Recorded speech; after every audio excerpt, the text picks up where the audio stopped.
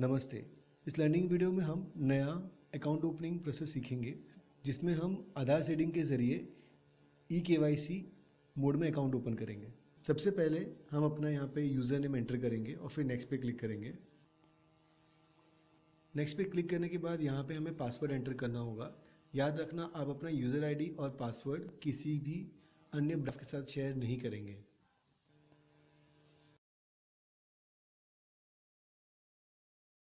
So user name password enter करने के बाद आप यहाँ पे होम स्क्रीन में आ गए हैं। यहाँ पे हमें कस्टमर का मोबाइल नंबर एंटर करके सर्च पे क्लिक करना होगा। सो कस्टमर का मोबाइल नंबर एंटर करने के बाद हम सर्च पे क्लिक करेंगे। जैसे कि आप यहाँ राइट साइड में देख सकते हैं न्यू पोटेंशियल कस्टमर लिखा गया है।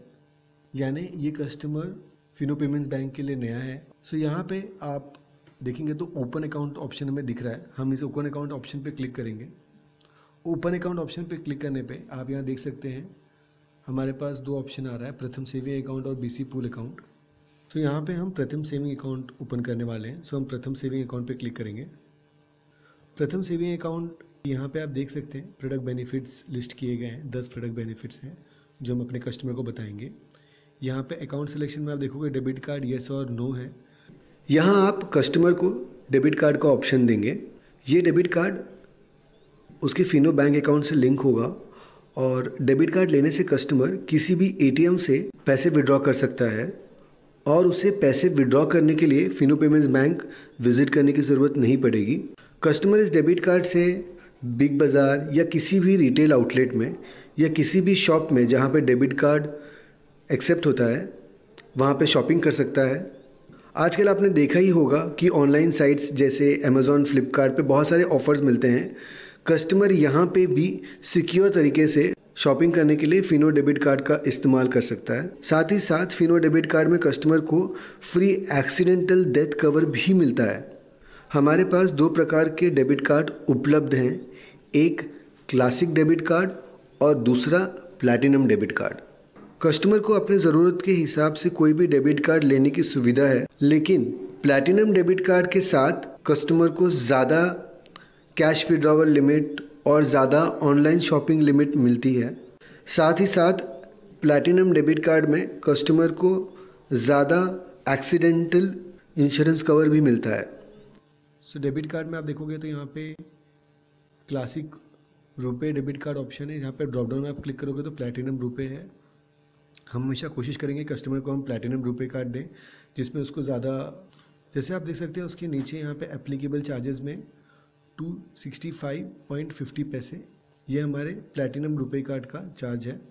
आप देखोगे तो क्लासिक पे ये चार्ज थोड़ा कम है बट रुपए पे चार्ज थोड़ा ज़्यादा है। लेकिन कंपैरेटिवली प्लेटिनम रुपए कार्ड पे कस्टमर को ज़्यादा बेनिफिट्स मिलेंगे। इसलिए हम कस्टमर को हमेशा प्लेटिनम रुपए कार्ड रेकमेंड करेंगे।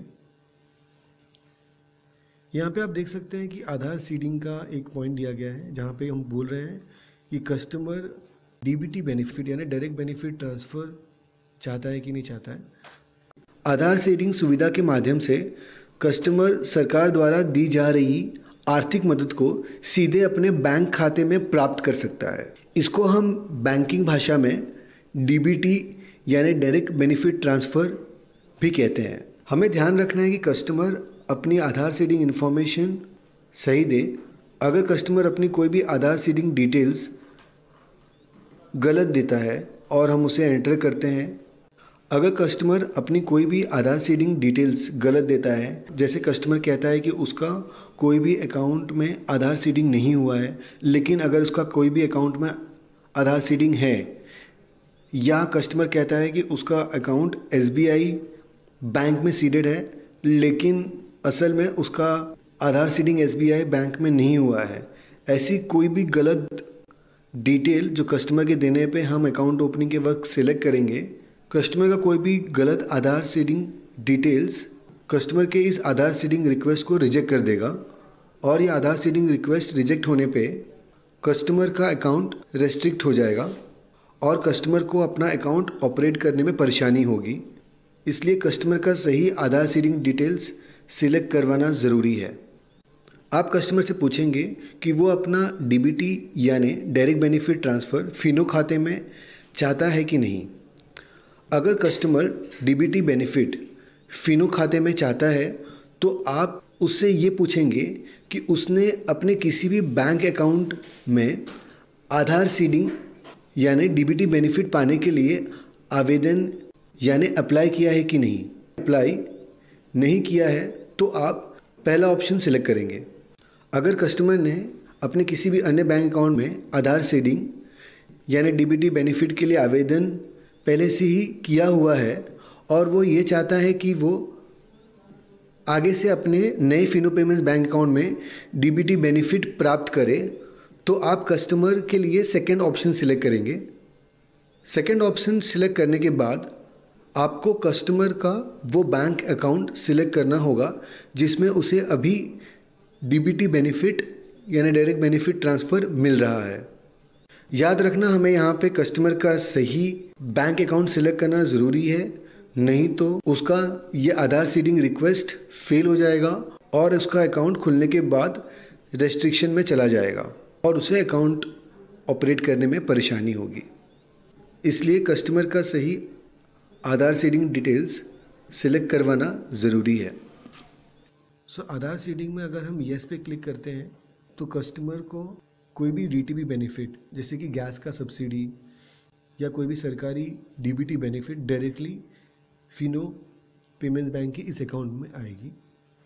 अगर आप आधार सीडिंग में येस करेंगे तो देख सकते हैं नीचे ई के वाई सी ऑप्शन आपको दिख रहा है। अगर आप आधार सीडिंग में नो करेंगे सो आप देखोगे आपको यहाँ पे नॉन ई के वाई सी यानी डिजिटल के ये ऑप्शन दिख रहा है।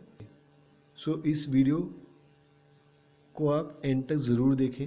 फ़िलहाल अभी हम इस वीडियो में आधार सीडिंग पे येस क्लिक करके ई के वाई सी के माध्यम से अकाउंट ओपन करेंगे। सो so, हम यहाँ पे ई के वाई सी पे क्लिक करें अब आप यहाँ देख सकते हैं ऊपर ये छः स्टेप्स है जो हम फॉलो करेंगे। पहला है ई के वाई सी का।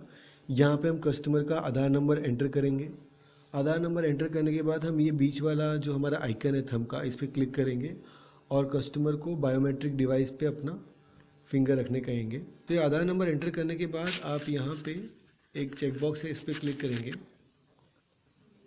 जिसमें कस्टमर ये कंसेंट दे रहा है कि हम आधार सर्वर से उसका डेटा फैच कर सकते हैं अकाउंट ओपनिंग के लिए। ये चेकबॉक्स पे क्लिक करने के बाद हम इस ब्लू आइकन पे क्लिक करेंगे।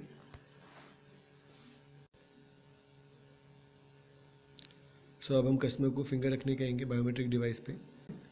और ये हमारा आधार ऑथेंटिकेशन सक्सेसफुल हो चुका है। ये कस्टमर का डेटा हमने फैच कर लिया है। सो so, ये आप डेटा देख रहे हैं यहाँ पे हम कस्टमर को पूछ सकते हैं कि उसका मैरिटल स्टेटस चेंज हुआ है कि नहीं। बिकॉज़ ये जो यहाँ पे डेटा है वो आधार कार्ड बनाते वक्त का डेटा है। तो अगर कस्टमर की शादी हो चुकी है तो आप उसको पूछ के अकॉर्डिंगली मैरिड या बाकी ऑप्शन सेलेक्ट कर सकते हैं। अगर कस्टमर सिंगल है तो आप सिंगली क्लिक करके रखेंगे। सो so, यहाँ पे कस्टमर का ईमेल आईडी हम पूछ के ईमेल आईडी कैप्चर कर सकते हैं। ईमेल आईडी कैप्चर करने के बाद आप यहाँ पे देखोगे मदर्स मेडन नेम दिया गया है, इस पर हम क्लिक करेंगे और कस्टमर से उनकी माता जी का नाम पूछ के यहाँ पे एंटर करेंगे। ऑक्यूपेशन पे हम क्लिक करेंगे और कस्टमर का जो ऑक्यूपेशन है वो सिलेक्ट करेंगे।